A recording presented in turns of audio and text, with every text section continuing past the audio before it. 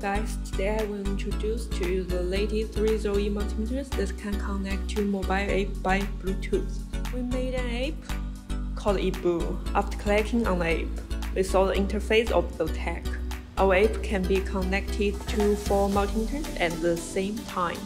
I will show you how to connect and use them later. These three multimeters are our newly launched. They are S5B, 300AB, and 5QB. Please remember to read the manual. There are some parameters and safety precautions. After unpacking, according to the distributor's requirements, sometimes the batteries are installed already, and sometimes the batteries are in the color box. S5B has a protective case. Of course, the others without a protective case are also very good resistant to fall. Take it apart. The positive and negative poles are marked on a battery box inside.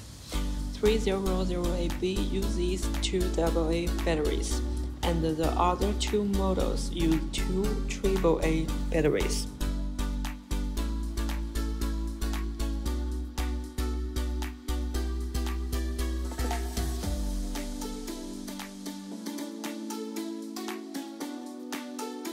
Both 5BQ and S5B are powered on by long pressing the red button.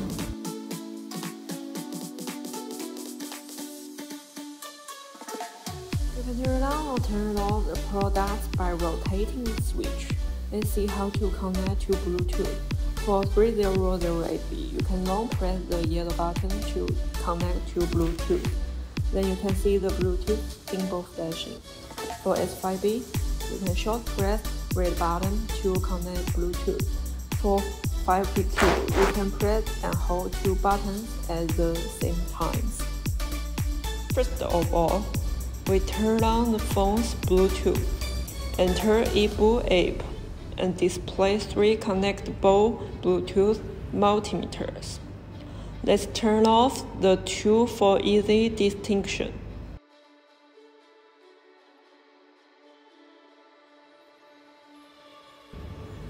The first one is 300AB. We can rename it to 300AB.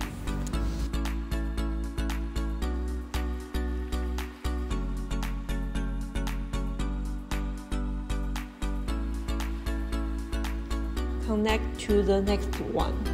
We name it S5B.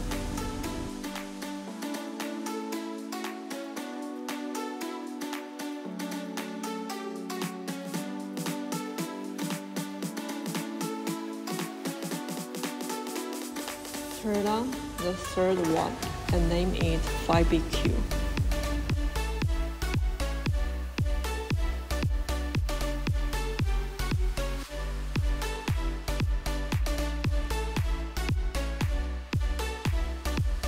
Quickly introduce a function of 300AB. It's an automatic range multimeter.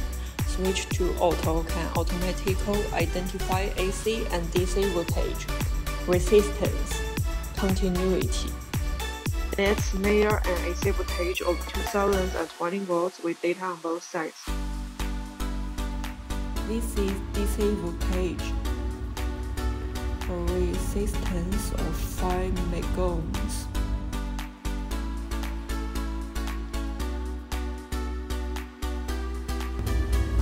And continuity.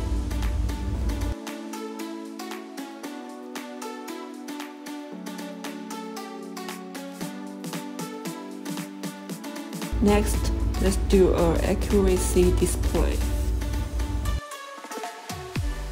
Let's include DC 1 volt, 10 volts, 100 volts, and 600 volts. All of them are very accurate. Look at AC 700 and 15 volts, 15 hertz, and the AC 200 and 20 volts, 15 hertz. They are all very accurate. The voltage of the circuit isn't accurate. It can't be used as the standard voltage of 220 volts. Some people say that the millivolts range is unstable because its input impedance is very high, but it doesn't affect the accuracy.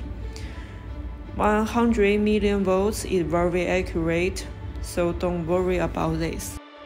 Let's look at 5BQ's AC220 volts.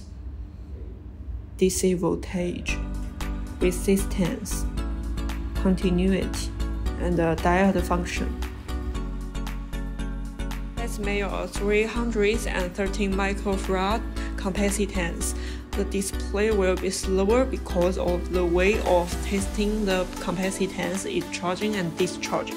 For the temperature function, the normal temperature is usually displayed when the test lead is pulled out. The phone will display that it's ready to start measuring large currents. Please use it carefully. We have to climb single layer wires to test it because it has only AC current mode and no DC current measurement so it will show AC current. Now we input 2 ampere 15 Hz AC current. Clamp meter tests large current usually, so the accuracy is low when we test small current. This is the basic functions of ZT5BQ.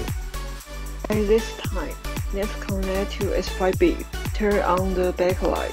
We will use S5B to measure AC voltage, DC voltage, a 5 ohm resistance, and the continuity. If this value is less than 15 ohms, it will keep beeping.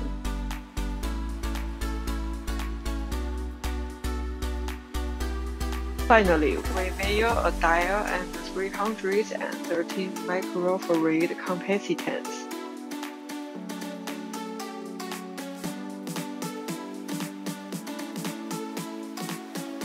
The temperature mode will display normal temperature without a thermocouple probe. On the contrary, the high temperature can be measured with a thermocouple probe. This is the basic operation of a Bluetooth multimeter. Our app has many other functions, such as remote assistance, data input analysis, record the major venue. And the Electrician Center, which is a platform for electronic enthusiasts to learn.